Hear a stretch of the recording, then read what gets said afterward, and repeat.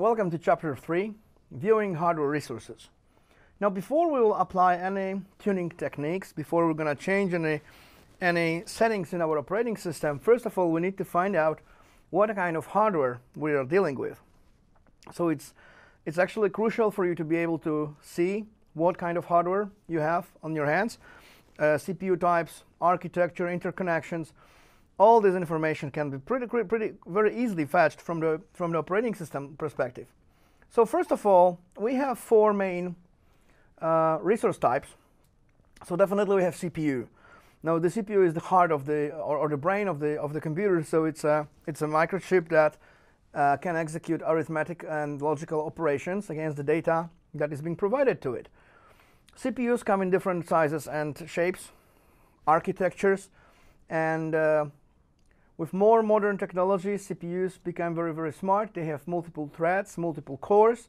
So one, one piece of silicon actually has like several smaller CPUs inside of that um, in a very compact uh, form. So CPUs are one of the, it, it is the most important uh, component of the CPU because it dictates the overall performance of the entire system. So knowing what kind of CPU you have uh, what is it? What is what is the connector? Um, what? Uh, how do how do how do your cores talk to each other? How are they interconnected? Do they share any any? Um, do they have any shared uh, resources like cache maybe? Knowing this allows you to understand how your system performs, and also it allows you to understand the system's limitations. A second, second resource we care about uh, is a system memory. So it's a volatile memory, which means after you stop providing power, it loses its contents. So RAM is a is a second most important component of the of the computer because it is used to uh, transfer data to the CPU. Not directly because in, in simple terms, whatever is stored in the memory can be easily transferred to the cache level layer level le level 2, level 3, level 4 cache of the CPU and the CPU can transfer this information to its level 1 for processing. So usually uh, the memory, memory will dictate how fast the data can be transferred to your CPU, and the CPU will consume it. Um, the next thing we care about are the storage devices. So either these are hard drives, um, uh, flash-based, rotational, SSD, solid-state drives, Mm, they're usually huge, large. They, they, they come in, in, in rather large capacities, but they are very, very slow. C comparing to, for example, comparing to system memory, the disks are slower by a huge margin. This can be 4,000 times more slower or even more. So there's a huge disproportion in the, in the, in the, in the throughput between storage devices and memory. And also, this is one of the things that Linux is doing absolutely wonderfully, which, which is uh, whatever is stored on the hard disk, if it can be moved into memory and stored in memory for a longer period of time, the system will try to do that, eliminating, uh, eliminating the need for I.O. operations touching hard drives. So uh, storage devices are the third, third kind of resources, and we need to know what kind of disks do we have. Um, are they SSD drives? Are they NVMe? What interconnects do we have? Uh, are they enterprise grade or consumer grade? Now, the fourth kind of resources, those are the networking devices. And they also dictate how fast we can communicate with the outside world. So nowadays, with pretty much everything connected to the internet or interconnected with other machines and devices, networking component is very, very important. So you need to know what kind of network equipment do you have, what are the possible technical speeds, what are the limitations, uh, the number and the fault tolerance of your configuration. We can easily see all this information. Uh, and we need to know that before we will apply any tuning, tuning techniques. Now also, it's important to understand that different architectures have different interconnects, the way the components are connected to each other. Um, the, the, the, standard, the standard PCs may have a, a very slow, uh, very cheap in the manufacturing process interconnect. The servers, on the other hand, when the performance is absolutely uh, important, they may have very sophisticated, very expensive interconnects allowing us to transfer large amounts of data between components very efficiently. That's pretty much the difference between the servers and the desktop systems. Uh, the interconnects are different. Now, I would like you to have a look at the figure 3.1 uh, again coming from Brendan Gregg and his collection of tools. We have uh, a little overview of the operating system and its design. So we have the application stack, we have system libraries, we have system call interface, the virtual file system, and the entire input-output system, the networking socket, scheduler, virtual memory management. And as you can see, Brendan created a nice collection of tools, command line tools, which can be used to fetch the information from the different subsections of the hardware. Figuring out what you have in the system is actually crucial. So it's a good idea for you, and, and I would say uh, this is my suggestion: print it out, put it on the on the wall, and get used to that view. Because knowing all these tools is absolutely crucial. So we're gonna start with the first co first command. It's absolutely uh, basic. Being able to fetch the kernel messages. The command for that is dmesg. dmesg diagnostic messages. You run the command, and it will show you the last entries, probably all of them. But it's, uh, it's a fixed length buffer. It can be changed, but it's a fixed length buffer, so it, it is possible that it will overflow with information. You may lose your oldest entries. You will see only the most recent ones. Still, it's a, it's a lot of information to, to process. Uh, the dmesg actually can be also viewed with the use of journalctl command. The journal D is a, is a, is a is a tool that extends functionality of systemd. So journal d minus k, this option will show you the kernel messages. And if you have journalctl with the persistent uh, configuration, then you will see all of them. dmesg may overflow, journalctl will not. Uh, but basically, they give you the same information. Now, let's see an example dmesg. Let's, let's see how many lines do we have. 655 lines in this little workstation. The system is not doing anything useful right now. So it already has 655 lines of output. Um, and it's, it's, it, nobody expects you to read the whole output line by line because it's, it's, too, it's too much. So you need to learn how to uh, find out particular sections in it and maybe read the information from the dmesg that way. Mm, so if you run dmesg, let's pipe it through less the first, the beginning, the first two lines, these two lines, these are the kernel arguments and basically the kernel version as it's being, uh, uh, uh, the version of the kernel we boot. So this is 418.80.1.2EL80. So we have the kernel version, we have the, the architecture, the information when, where, where the kernel was built, um, the, the compiler, the date of the compilation, and also we have a command line. So this contains the list of arguments the kernel was passed when it was starting. So as you can see, the list is quite long, and all these parameters heavily affect how the system operates. So starting from the line number three, that's where the actual dmesg starts. And from that point, we have 653 lines of output.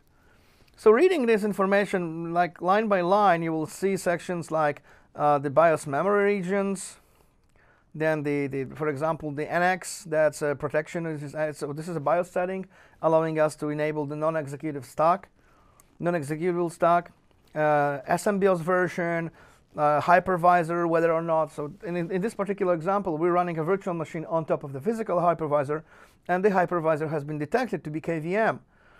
And then we have some uh, memory-related information, and so on and so forth.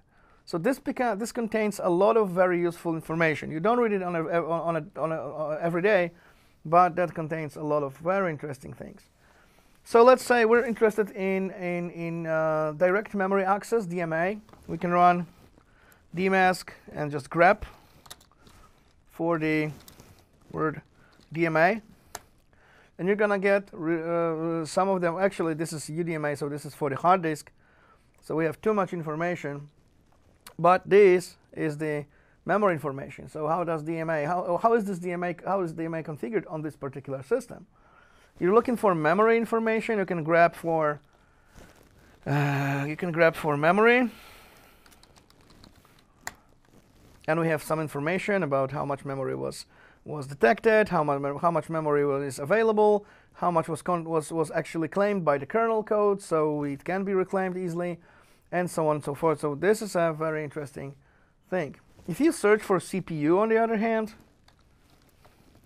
you may search CPU-related information. Um, so it tells us that, oh, uh, for example, uh, the SMP mechanism was uh, was activated because a secondary CPU was detected, so it's being brought online. Um, we have information about SM boot, about the, the, the different flags of the CPU being enabled or disabled on this particular system. Um, what else can we search for? We can grep for uh, huge pages. Let's search for huge.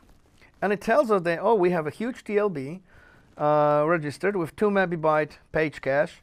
So we have a 2 megabyte uh, page size, sorry, page size. Uh, we have zero pages allocated. So if you're going to configure huge pages, which we're going to discuss later on, you will see this message in dmesg on the system boot. And also you can see that systemd was kind enough to mount for us a huge page fs it's one of the other, one of the two methods how you can, one of the three methods how you can use huge pages. So the huge page file system is mounted automatically for us. Um, what else can we fetch from the dmesg? Let's say for the um, I/O scheduler, I/O, and it tells us that we have three of them registered. This kernel has been configured in a way it has modular uh, I/O schedulers. One of them is called MQ Deadline. The other one is called Kyber. The third one is called BFQ. That's one of the biggest changes between RHEL 7 and 8. The I/O schedulers. We're going to discuss this in following chapters. So all three of them have been registered. So the kernel may switch between them depending on what you want to, what kind of behavior you would like to achieve, because they completely differ. They are they are completely different and they have different goals. Mm, now, whenever there's a situation when the kernel will detect a minor failure, not something major, like you know, major failure that's a kernel panic. That's a situation when kernel doesn't know what to do, cannot go on. It gets to this, it gets to the state when it cannot recover. That's a major fa failure. But we also have, may have minor failures. Usually drivers or some components of the kernel, they cannot complete their task. And that's where you're going to get a stack trace. It's a little output that looks like uh, like this in the book. So this is a this is a, uh, an example output of the of the kernel trace. It tells us that a, a failure happened. Some operation must have been done, like reload the module, reload the firmware, maybe reinitialize a device. You can read that to find out what kind of failure you are dealing with. Usually, these are uh, very important warnings. Those are warning lights telling us something bad is happening to the system. Great. Mm, now, there's one of the parameters uh, that actually I love, uh, and it's a new thing in, in RHEL 8. That's a dmesg minus uppercase T. Now, if I pipe it through less, you will see it actually shows the date, exact date and time at which the particular event happened. Now, the thing is that this, the times, as you can see, all the events from this screen are sharing the same exact time. So 1533.02, and this output is not getting uh, more precise. However, the chronology of the events is preserved. So we're absolutely certain that this entry came before that entry, even though we don't see microseconds or milliseconds, we are certain that that's the way they have been, that's the order in which they happened. So if you're searching for a certain event in your kernel, messages, you may very easily find out when things happened. This is extremely useful when you're having stack traces or kernel oops. Uh, that's another way of handling errors. And knowing when it happened allows us to correlate this event with some uh, log files, some events that happened while this, uh, this unfortunate situation took place. Now let's focus on the CPUs first. So there's a couple of ways how you can see what CPUs you have. The first one is a legacy is a legacy way. There is a file called proc CPU info. CPU info.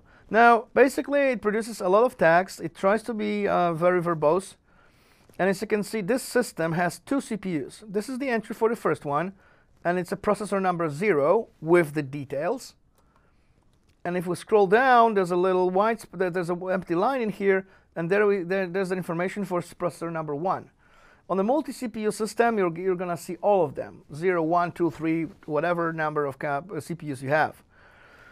And the interesting thing about it is the cache size, for instance, or the model and family. Of course, we're running a virtual machine here, so it tells us this QEMU virtual CPU version something. On a physical hardware, it will give us the manufacturer, is it either AMD or Intel or ARM CPU or anything like that. Plus, it can give us information about the physical layout, the number of cores, the, the, the, the, the layout of this on the sockets. Plus, it has a very interesting thing called flags. So these are CPU flags, which basically means what functions, what features this CPU does support. And I'm searching for something uh, particular. I can't see it, so this CPU will not run AES offloading. Uh, modern CPUs uh, have the mechanism called AES, which basically decodes AES cipher on the CPU, making this operation very, very fast.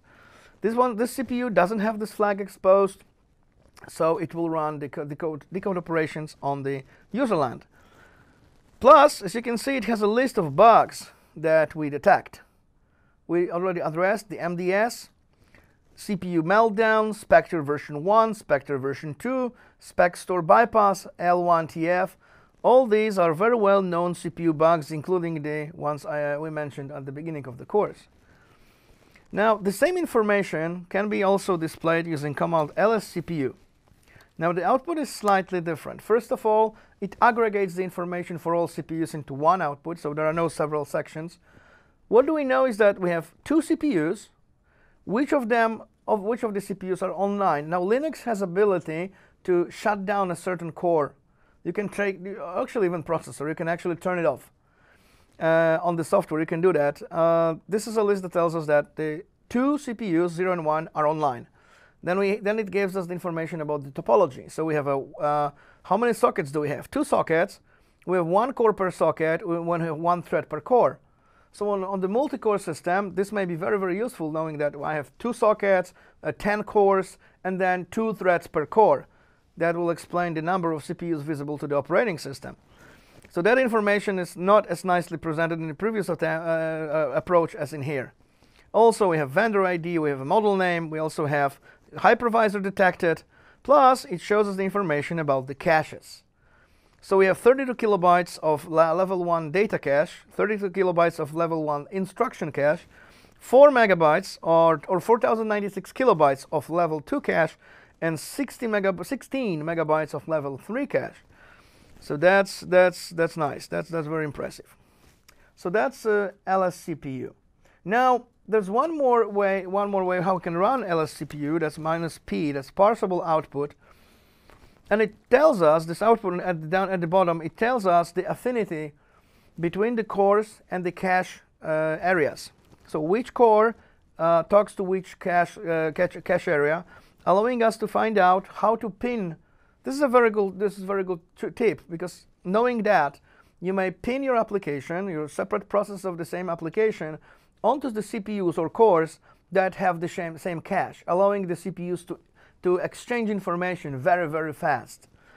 If you are not sharing the cache, then the, the, the performance of the application will go a little down. So this is, this is machine parsable output, but it also can be used by uh, a trained eye to find out which core utilizes which cache region. What else is there is that we have a standard tool called getconf. There's a utility called getconf. And if you run it, minus A, it will show us a, a, a long list of variable names with the values. And this is one of the standard ways how we can uh, fetch the configuration of your operating system and also your hardware, uh, your settings uh, and and the, the, same, the tool works in the same way on all Linux distributions.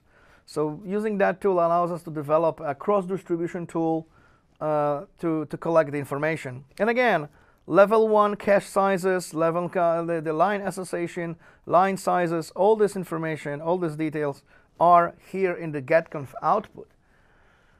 Okay, now another thing that we want to discuss is the SMBIOS system. That's a very interesting mechanism. It's called System Management BIOS and uh, desktop management interfaces, so the SMBIOS and DMI, these mechanisms basically, those are mm, ways to fetch the hardware um, details of your server, the, the details that have been pre-populated by your vendor.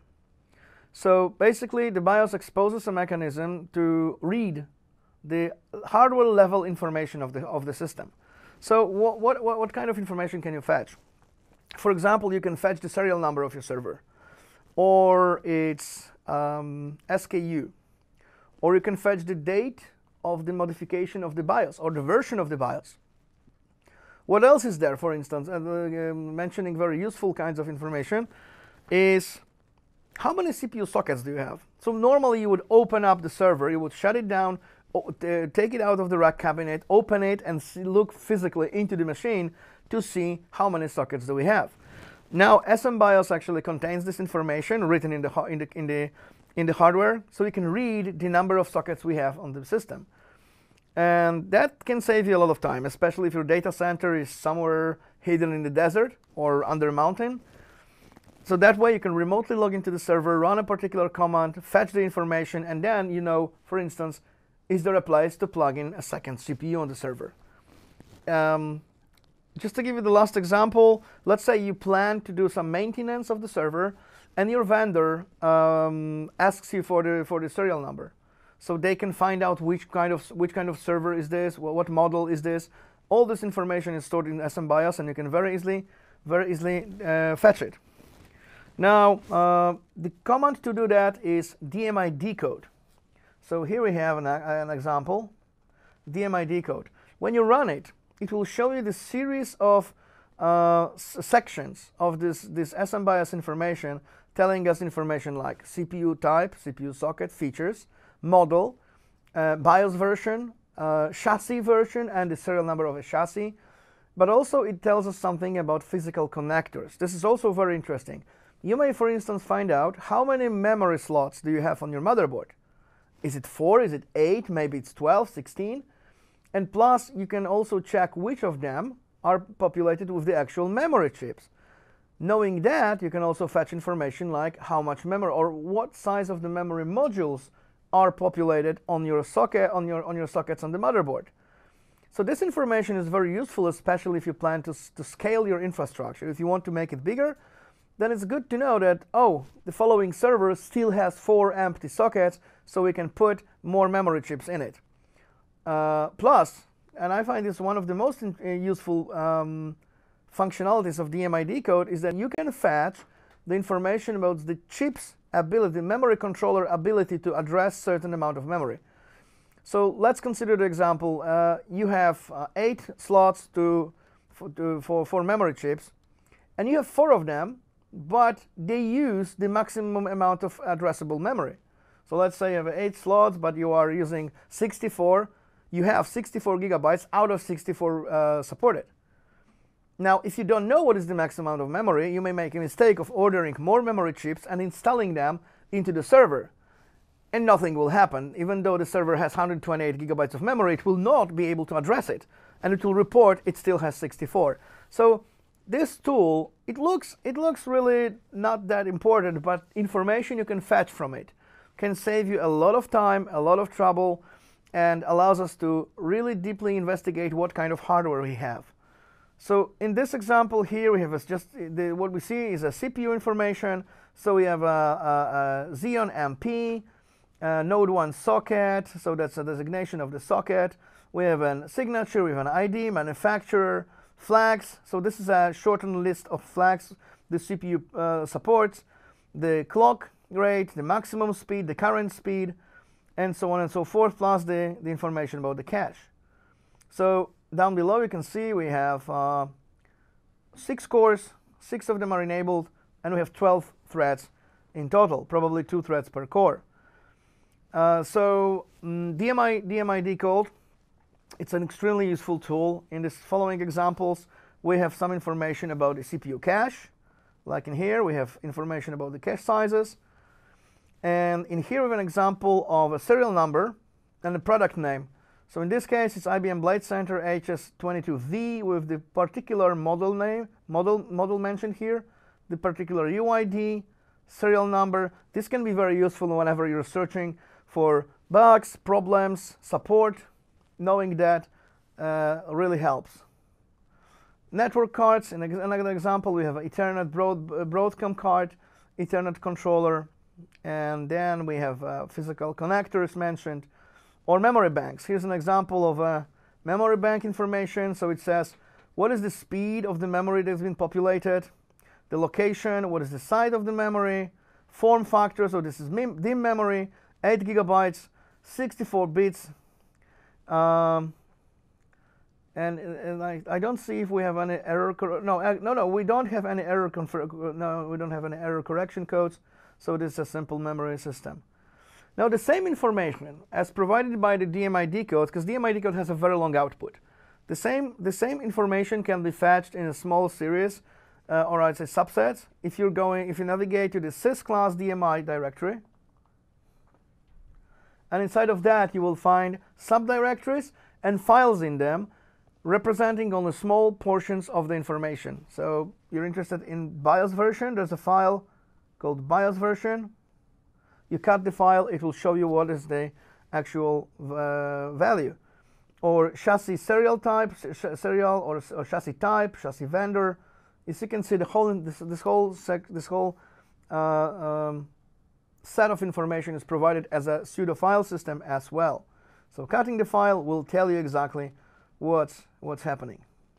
Now let's move on to the peripheral devices. So we know the motherboard, we know the CPU, we know the power connectors, we know the, the external uh, connectors like keyboards, USB stuff. Now we would like to see what kind of hardware is installed on the motherboard. So there are two tools to run to check this information. One of them is called LSPCI, the other one is called LSUSB. And uh, using this tool allows you to very nicely represent what kind of devices are installed. When you run LSPCI, you will see a list of devices. Here's the name of the device and the address on the PCI bus. Now, this is a very nice list. Now, there's, there's one little trick I would like to share with you. LSPCI has an internet-provided database of well-known recognized devices.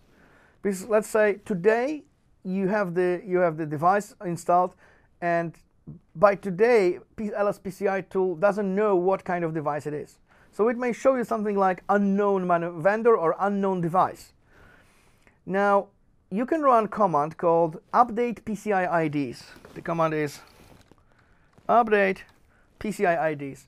If you run the command, it will download the latest version of this uh, well-known signatures. So running update PCI IDs followed by LSPCI again may reveal what kind of unknown device is now known and recognized. This is especially popular with the graphics cards. You may have an unknown device, basically VGA, VGA type device, and then after, after updating your PCI IDs, you may find out that this is the most recent graphics card of one of the manufacturers. So LSPCI is one tool, very, very interesting. Now the LSPCI actually allows us to run into the dash V and dash, dash VV options. Well, that will expand information for each and every detected device and it will show you a lot of details. Sometimes it's even too much. You may have the, the interrupt information, you may have the driver information, you may have the features, the power consumption, the whole lot of information can be fetched with the LSPCI minus V. So what you see here, this is just one part of the, this is one device, that one. So that network card has the following properties. Uh, a physical slot, control, uh, status, latency, interrupts, region, memory regions, capabilities, uh, and also, this is interesting, you can find kernel driver, that line in here. That's very useful because uh, you may have a device and may you, know, you may not know which driver provides its functionality. The LSPCI minus VV will show you the loaded driver. Another very useful tool is USB. So this, the, the tool is LSUSB. It's this one. So when you run it, it's going to detect well-known signatures, vendor signatures and device signatures, and compare them against detected. Uh, detected uh, hardware. So you may find out that your keyboard is coming from manufacturer X, and your mouse is coming from this different manufacturer, and your USB thumb drive is coming from the third manufacturer. So the same story here. LS USB will show you the USB connected devices uh, plus, you can run it LSUSB minus VV, minus single V, double VV. I believe you can run it even with three VVs. And what you're going to get is a similar output, which tells us what kind of device is this, which class of device, is it a hub, is it a peripheral, is it a, a mouse or a keyboard, is it a storage device, but also it can inf contain information like power consumption or power draw, uh, plus the driver that supports that device. So LSUSB, that's another very, very useful utility. Now there's another tool we would like to, to show you, tell you about. That's uh, LSTopo. LSTopo. It comes from the it comes from the package called hwloc, and you have a tool called LSTopo. This is basically list topology. It will try to show us graphically. It's a graphical tool. It will display the relationships between devices, their their position on the bus. It will list all the buses. It will show what is connected to where and if you don't have graphical environment, you may run ls lstopo no graphics. That's one word with dashes between them. So ls lstopo dash no dash graphics. And that will show you the text output and it will try to show you the child-parent relationships between devices. So you may find out what is connected where and for example, you may understand which network card is plugged into which PCI slot. Right. Uh, we have some other tools allowing us to fetch the hardware information. So LSHW, LS hardware, list hardware. Uh, when you run it, it's going to show you a whole list of devices that are detected in some uh, its, its, own custom format. You may run LSHW as uh, dash dash short to make it dash short to to make uh, output slightly slightly more dense. Uh, we can learn lshw minus c as a class, so we can specify I want to see my system devices, maybe my network devices, storage devices. It's like one generic tool that works pretty much the same way on all Linux distributions. Now there's one more thing to conclude this section of the, of the chapter. Uh, a lot of modern computers can uh, and will track and store uh, hardware errors in, in some dedicated memory usually a dedicated chip. And there is a standard mechanism that's, uh, that, that's in the industry. It's called the RAS. So that stands for reliability, availability, and serviceability. Uh, we can fetch the RAS information as it's stored in the hardware, fetch it to the, to the, through a daemon, and then display on the, on the console. So in order to work with that, you need a daemon called RAS daemon. So you install RAS daemon, you enable it, and then you have a tool called RAS MCCTL. With this tool, you can configure, you can check the summary, you can fetch the errors that happened during the lifetime of your server. So for instance, if there were memory allocation problems, hardware memory allocation problems, or page lookups, or maybe lockups of the CPU, or, or the problem that hit me some time ago, a broken cache, level 2 cache of the CPU, was broken and every time the system would try to use it, the server would do a cold reboot. So this is not something you can easily and, and, and, and easily uh, debug. Having RAS daemon running, you can collect the information, fetch the historical information, and then see what happened. So uh, no, having a RAS daemon is actually very, very useful, and I highly recommend that to be enabled and installed on your servers. Now we're going to have a guided exercise displaying physical resources. Please do it yourself. Um, follow the instructions in the book uh, and let's see each other in the next video.